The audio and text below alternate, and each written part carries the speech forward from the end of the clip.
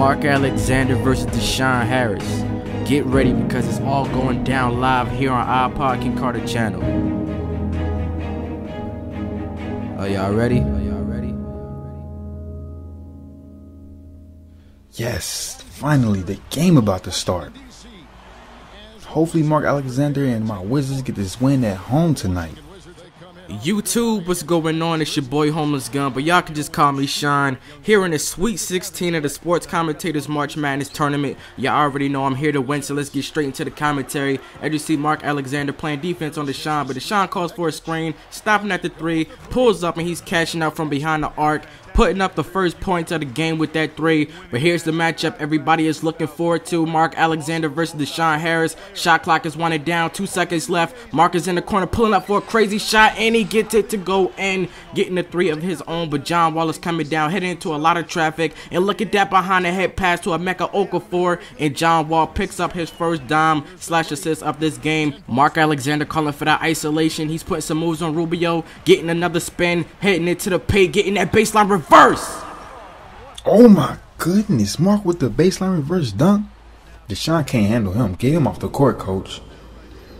The Wizards have the lead by five points. Deshaun is calling for an isolation. They're getting a little physical with the bump in. Deshaun goes up for a fadeaway. Great defense by Mark Alexander, but better offense by Deshaun Harris. And look at the space Pekovic is giving John Wall. John Wall go ahead and pulls up, and he's catching out from downtown. Don't you ever leave John Wall that open. And here we go, the matchup of the day. Mark Alexander versus Deshaun Harris once again. Mark get past Deshaun. He's going out with the one-hand jam. The one hand jam from Mark Alexander getting by Deshaun. That was a great play. But Deshaun's calling for the screen for Kirilenko. They're double teaming him. He's getting by the double team, going in with his own one hand slam. Telling Mark Alexander, whatever you can do, I can do better. And look at this Nike Plus replay. Deshaun getting that 29.6 vertical on that dunk. And now the Wizards have the lead by six points, but Trevor Ariza could not make that 11-foot jump shot. And Deshaun Harris is coming down the court, throwing the alley-oop to Derrick Williams getting another assist in this game. And we're at the end of the second quarter. Deshaun gets the ball. He pulls up just in time, but he misses the shot. And we will be seeing y'all in the next quarter. Okay, okay, I'm feeling this. We got to keep this going in the second half. We got to finish this game strong and we are now in the second half. But look at the score. The Wizards only have a one point lead right now. Shot clock is winding down. Deshaun gets the ball and gets it off just in time. And the Timberwolves take the lead for just the second time in tonight's game. Rubio gets it off to Chase Budinger. Budinger calling for a screen. He gets the screen, stops at the three, pulls up, and he's catching out from downtown. And with a little bit over a minute left to go in the third quarter, we are now tied up at 52 apiece. Deshaun gets the spin move off on Mark Alexander, hitting him with the Euro layup. And to make sure he gets the two points, he using that friendly backboard. And once again, Deshaun Harris getting the spin move, hitting him with another Euro, and he's getting another two points with that layup. And here is a bad matchup. Emeka Okafor and Deshaun Harris. Deshaun Harris abused it, getting the reverse dunk. dunk.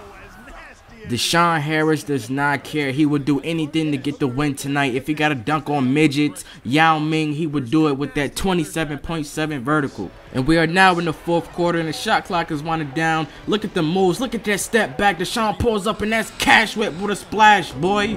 And there's less than 30 seconds on the shot clock. And look at this poor defense by Rubio. He leaves John Wall wide open, and John Wall knocks down another important three. And the Wizards is up by two. Timberwolves need a three-pointer to win this game. Deshaun is not passing the ball. He takes up a three, and he gets the buckets. The Wizards are down by one point with five seconds left on the shot clock. They pass it off to Mark Alexander. Shot clock is winding down. Two seconds left. Mark Alexander pulls up for a three, and he does not get it. And the Timberwolves take this one. They will be coming out victorious in this game.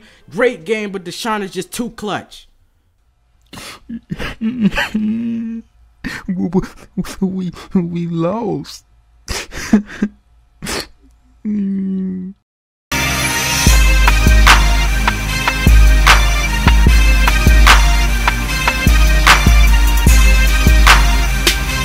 Take a look at my team. Tim Hardaway, he's a great scorer and a great passer. Even though he's new, he's a premier player. Then there's Blake Griffin. He's Tim Hardaway's go-to guy. We all know what Blake is capable of doing when you put him on the same team with the excellent passer. Now, let's look at his team. He has LeBron James, hands down the best player in the NBA right now. If we're not careful, he's gonna attack the rim at will and have us looking like Jason Terry. Then there's the Black Mamba, Kobe Bryant. You pretty much have an idea of what he plans on doing, so let's get to it. Now that you have a better understanding of his team and my team, I try to apply that defensive pressure to Kobe, but Kobe could care less. LeBron guarding Steve Kerr, Steve Kerr with the wide open look. Not too often when you see Steve Kerr miss a wide open shot. And what do you know? LeBron being LeBron finishing strong. Joe Green with the open lane. He got there before me. Okay, great defense. But I see Tim Hardaway with the wide open three. Where the defense go? Kobe Bryant. This is sloppy defense right here. We let Kobe Bryant knock down that easy jumper. So I'm like, okay, fool me once, fool me twice. So here we hit him with a double team, but we forgot all about JaVale McGee, making this a two point game. Look at Mr. Crossover. Chris Paul doesn't know what to do with them. I'm wide open draining that. Okay, he sees Brooks. Brooks sees Kobe. Not today. Tim Hardaway just snatches it like it's nothing. You know what time it is. I see the right hand man going up, doing what he does best. That's Blake Griffin for you. I already told you, so don't act surprised. I'm giving it back to Tim Hardaway. Who do you see cutting? Another oop. From old school to new school, Blake Griffin goes up with the one hand slam. Now that's a momentum changer. I see Joe Green in the corner like a prostitute. He goes up, but he's like, get that out of here. So I know right off the bat I gotta change my lineup. My people must be tired. And what do you know? Kobe Bryant drains it yet again. Ooh, he's shacking the fool out there. Okay, I see the time winding down. This quarter is almost over. Patty Mills, it's too deadly not to check me, boy.